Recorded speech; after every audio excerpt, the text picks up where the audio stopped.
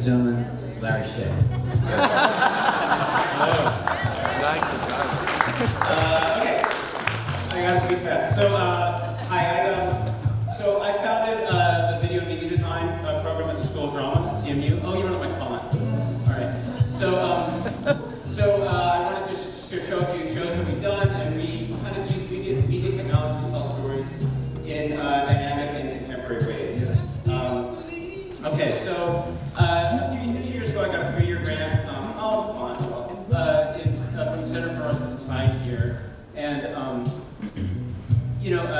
to develop new tools for performance. And so I've been working with VR and mostly augmented reality. And um, so I want to look at these two diagrams. I prefer the diagram on the left. I think the diagram on the right has an implicit assumption that there is a real world that is somehow not mediated. And I would say that you know this is the, the on the left for me is kind of more accurate. And um, you know, I don't want to make assumptions about things. So let's let me tell a story about electricity. Um, so we all love electricity. It's one of those um, habitual things that I Wendy was talking about. But how did it get around, started and why? Um, my project is an attempt to tell stories about complexity of the present moment in real time at specific sites across the city. There are many commercial ventures working on touring apps, but this one will be very different because my intent is different. And I um, thank Brenda for helping me figure that out yesterday. Uh, for example, I'm looking at um, the development of the electric infrastructure in Pittsburgh, um, here's a corner in East Liberty, close to the Ace Hotel. In 1927, the two industries were conspired to create a current reality, movies and utilities. Uh, the movie industry had vital baby steps here in Pittsburgh. Nickelodeon started here, and through trial and error, they developed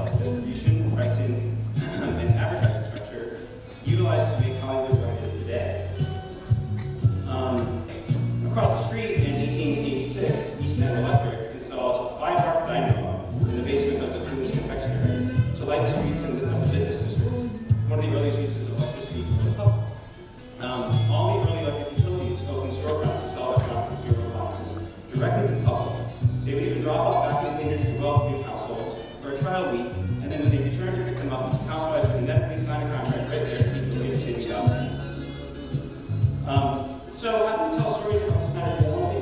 Um, where should one start? What format is suited for this complexity? Um, you know, we live in a world infused with information, imagery, audio, PhD dissertations, novels, newspapers, fiction, film, documentaries. It'd be nice to access them somewhere not like on your laptop in your living room. Um, so what if we took, told this story of electricity in Pittsburgh, talking about Nikolai Tesla, who was the inventor of alternating current, or maybe Frank Conrad, um, he was a Westinghouse engineer who started uh, tinkering with radio transmissions and got a following of people who um, uh, would listen to his uh, implanted records. Or maybe Edward who figured out how to make uh, moving images.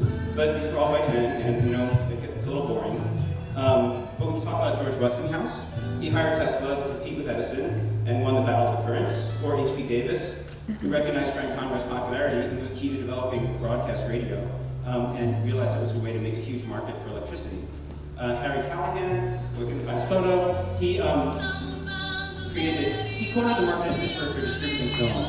So all the all the Nickelodeons had um, all the, all the Nickelodeons had like kids running around this town with um, uh, distributing the films, and he cornered that market and made a lot of money. Um, or maybe we should look at the vacuum cleaners, the radios, and the Nickelodeons, the machines that invaded our homes, brought us news of the real world, and seduced us to enter their dark caverns of delight. Um, or maybe the infrastructure, electric grids, broadcast radio, the movie industry. Uh, the World Columbian Exhibition on the left there, in 1893, Westinghouse won the contract and supplied electricity um, using Tesla's AC system, which really pissed Edison off.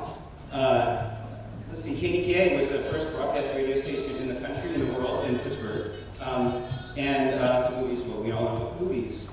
Okay, so how about places, however? I think, so my project um, is designed to actually tell stories from locations.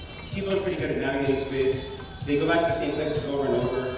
Um, so they, the project will use the environment itself to tell these complex stories, exploiting people's innate affordances for wayfinding, placemaking, and world building. Here are three um, student projects from a class I taught. Uh, Ali Shah, who's just up here, made Graphonic, which is a, um, an audio tagging app where you can go to a location, leave an audio file for a friend, send them a text, they can go to that location and hear it.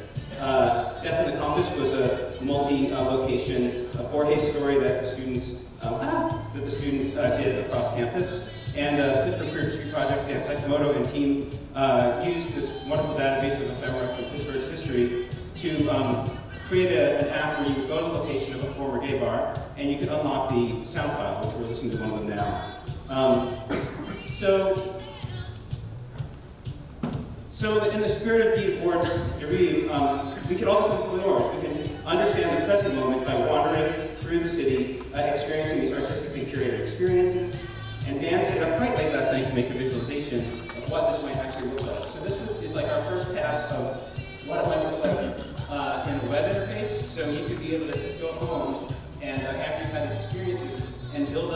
uh, locations and uh, personalities and organizations or uh, concepts into an interactive database. Uh, you that. That's the Black Construction Coalition. Uh, they were formed in the 60s to promote uh, allowing black to work on sites because there's a lot of a lot of racism in the hiring practices. Anyway, so from that point, that's Frank Conrad. So from here, you can connect to like broadcast radio, or you can connect to sold his radio sets, stuff like that. Um, and then should advance. and that's how it might look. Internet. Uh, and let me just jump to the last slide for pitch. Uh, thank you very much. And uh, if you're in New York, December 1st at 3LD is a show that I'm working on. We made an AR app uh, that is used in the show. Okay, thanks, bye.